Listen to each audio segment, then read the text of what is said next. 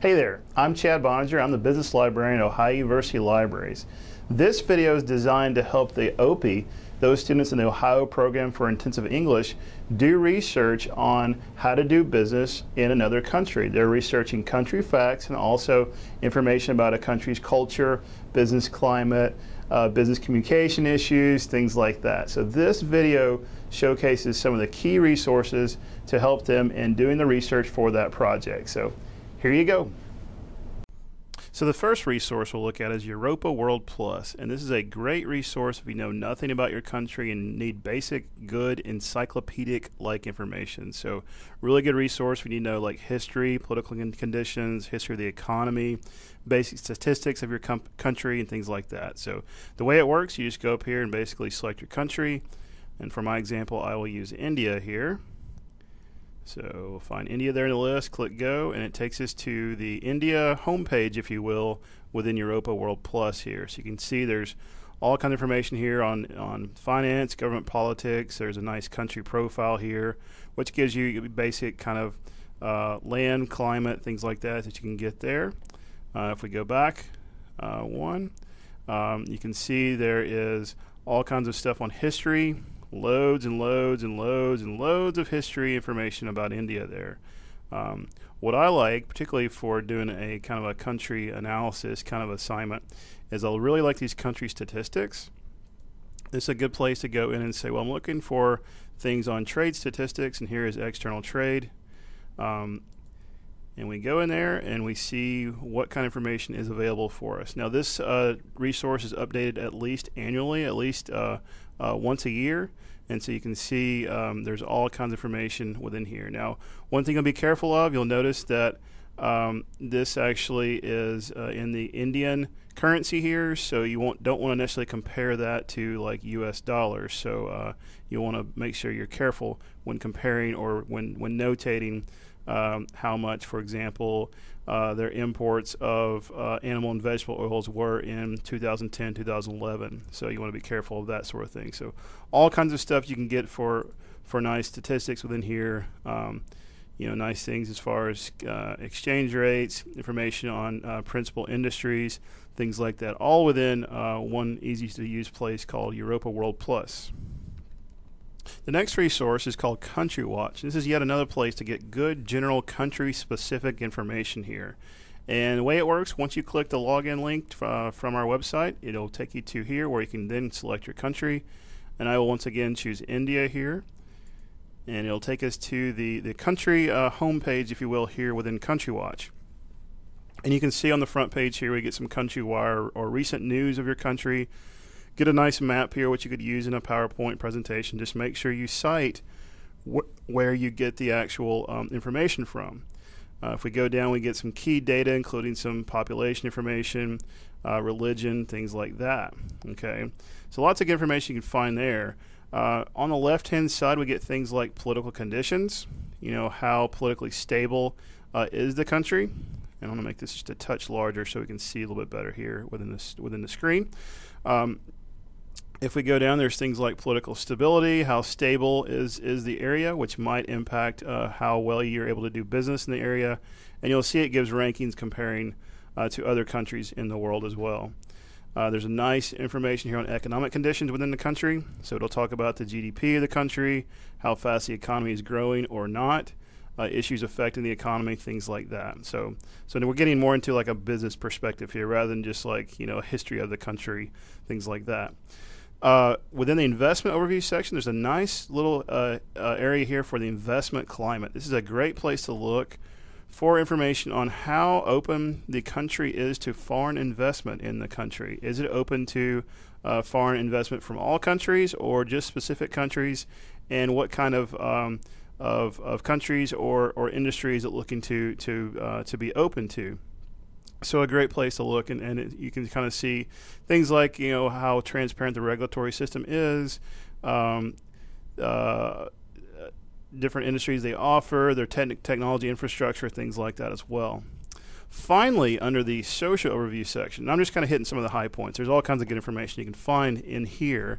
Um, there is a nice section within here for um, cultural etiquette And this gives you basically what's referred to as cultural do's and taboos what to do and what not to do in a particular country. And this can be useful to business researchers because obviously in business you're going to shake a lot of hands, you're going to pat people in the back, you're going to be in business meetings, you're going to be out to dinner with people, you're probably going to go and give them a gift, things like that. So you want to make sure that you know um, uh, how to treat people in another country and how you can expect to be treated as well. So, uh, so for example, we have things like uh, how to deal with titles. You know, how do you address someone you meet for the first time, right? Uh, things like that. So, also, I've got a bad um, uh, habit of doing both of these.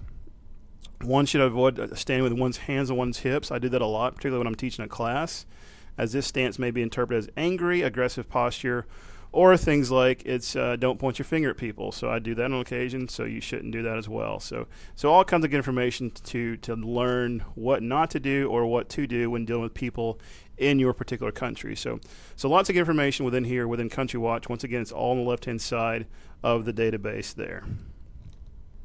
The next resource we'll look at is a free resource, a fantastic resource called Global Edge. And if you're doing country information research, the best way to, to get started here is to go down under Country Insights and then choose your country there in the middle of the page there. So we will choose uh, India right here in the center, click go, and it takes us to all kinds of information we can find on our country here. So if we just want general statistics, uh, here's all kinds of information on the economy, things like that. Now you may notice that some of this data here also we found in um, the first resource we talked about, Europa World Plus, and in some cases, Europa World may actually have more recent data than what's available here, and vice versa. This may have more recent data in some categories than Europa has. So you may have to use both resources when you're looking at data like that. Uh, we get information on the economy, how well it's doing, things like that. Um, there's some information for history, good resource for that. There's information on culture, and these basically give you things like you know what to wear, guidelines for business dress, things like that. So good uh, general information uh, on how to how to dress for business, how to keep appointments, how to um, uh, what kind of gifts you should give uh, in. Uh, into a person in India or your country, things like that. So, all kinds of good information you can find there. There's nice information for trade statistics.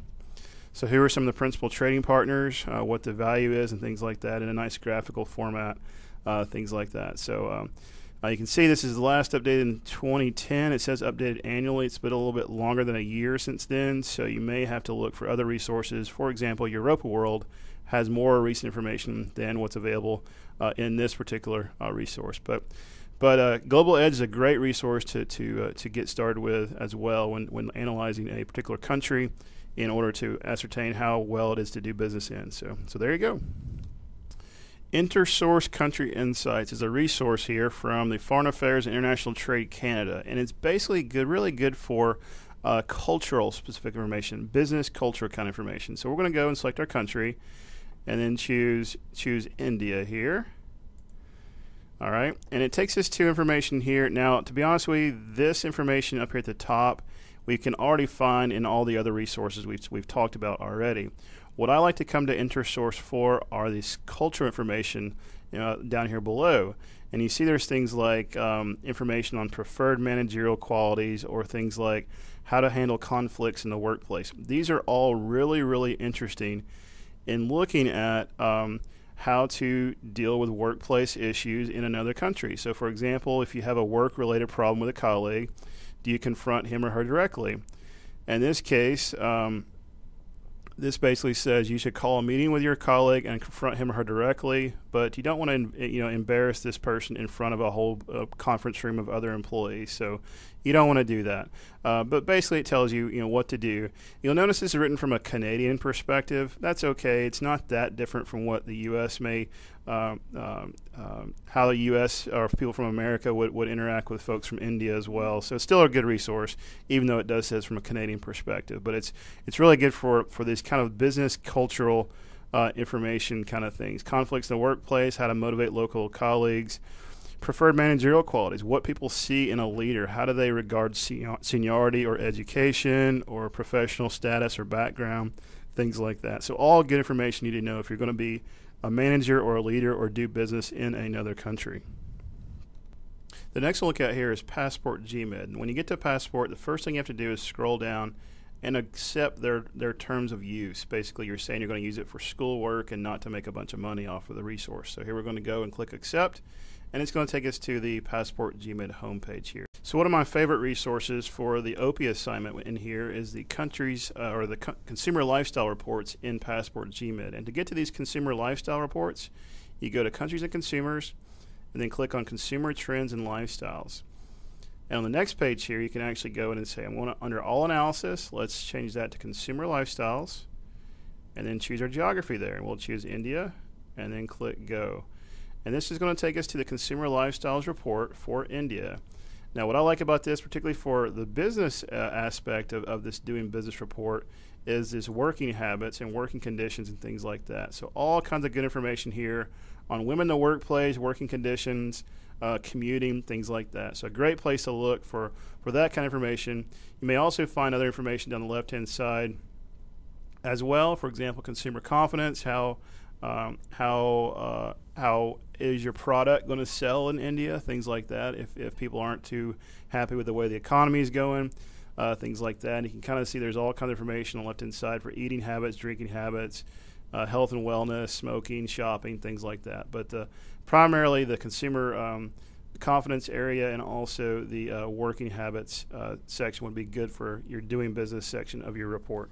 Another way you can use Passport GMID is go under Countries and Consumers and click on Economy, Finance, and Trade. And this will take us to uh, the Economy, Finance, and Trade homepage here, where we have a couple of options what we can choose from. What we can do is actually go under All Analysis here and you can, I like these country briefings, country profiles, and this monthly economic review. So let's just do the country briefing uh, to get a little quick information here. Choose our geography, and we'll just do India there in the list, and then click go. And it'll take us to basically a kind of a quick country briefing, risk and vulnerabilities of what's going on in India, uh, the major components of the, of the economy, things like that. So good information uh, there. If that's not the information you're looking for, you can also go under Analysis, Country Profile, and change this to India as well. Click Go here, and we get a country profile from Passport GMID on our country there. So here we have, you know, things that talk about, you know, GDP, things about uh, uh, inflation, you know, get some some facts and figures of the of the country, political structure, last elections, uh, political stability and risk, international issues, all kinds of good information you can find uh, within there on, in that report there. The last resource, though definitely not least, is called Business Source Complete. I'm listed this one last because if you don't uh, use the other resources first, you may just be staring at this blank search box. And for as example, you want to have additional terms to search in addition to just your country. If we go in and just type in India in here and do a search for India, we're going to get a whole lot of stuff, right? We get, oh, what's this, 146,000 articles, way too many things. So what we're going to use is these other search terms or search boxes here. So let's just do, uh, let's try to do uh, business climate here and see if we get something there. So do business climate, we get 50 results there, right? Uh, or we can do uh, or business culture. Let's see what we get there. So we get 126 articles uh, just by looking for that. Now, if you want to limit that down just to magazines, or if you want to limit by date, uh, you can go over here on the left-hand side and set, say, let's limit to the past, I don't know, the past six years maybe. We'll update that. Uh, we get 84 articles that way. If you want to limit to just newspapers and magazines, which may be a little bit easier to read, we can do that and click update there as well. And so now we're down to 24 uh, articles um, from the last uh, six years about India and my topic there. So you probably want to change your topic to something that maybe were more relevant to your paper, but those are just the terms that I've thought of when doing my search there. But you can kind of see what's available within here. Uh, if you like the article, if you click on the article here, it'll give you more information about the article, give you an abstract, which is basically a summary of the article. And then in general, you'll find the PDF full text linked within here, which if you click there will take you to the actual article uh, here in um, here in Business Source Complete there. So a great way to find uh, full text information uh, in Business Source Complete from a variety of magazines, newspapers, trade publications, and things like that. So all kinds of good information you can find there in Business Source Complete. Hopefully this helps you understand some of the resources available to you in researching doing business in another country. Should you need more help, look for the contact link on the business blog. I'll be glad to help you any way I can. Take care and best of luck with your research.